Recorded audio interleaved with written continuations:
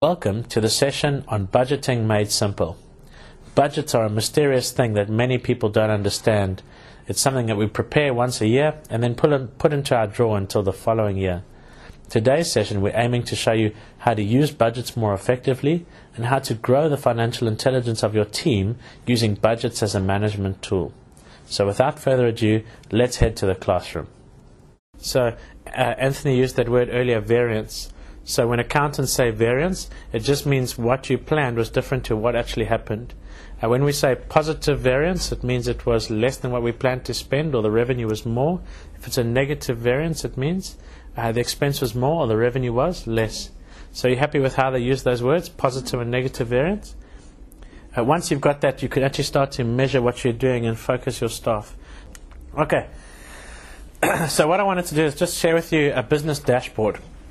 So definitely, uh, it's quite popular in corporate at the moment.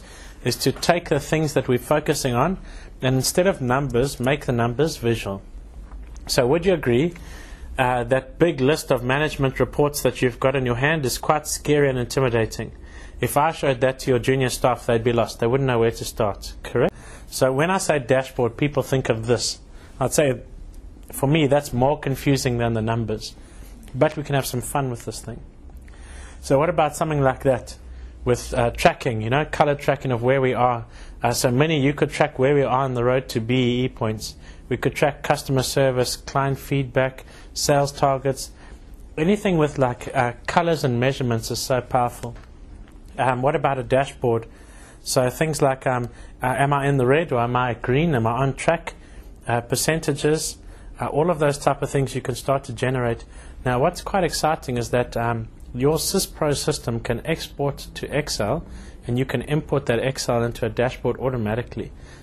Um, so one of my clients, I was telling you earlier, uh, they're a sales team. So what they did is they built a life-sized uh, snakes and ladders board in the middle of their office.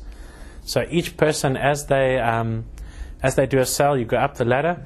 As someone makes a mistake or we lose a deal, you go down this snake.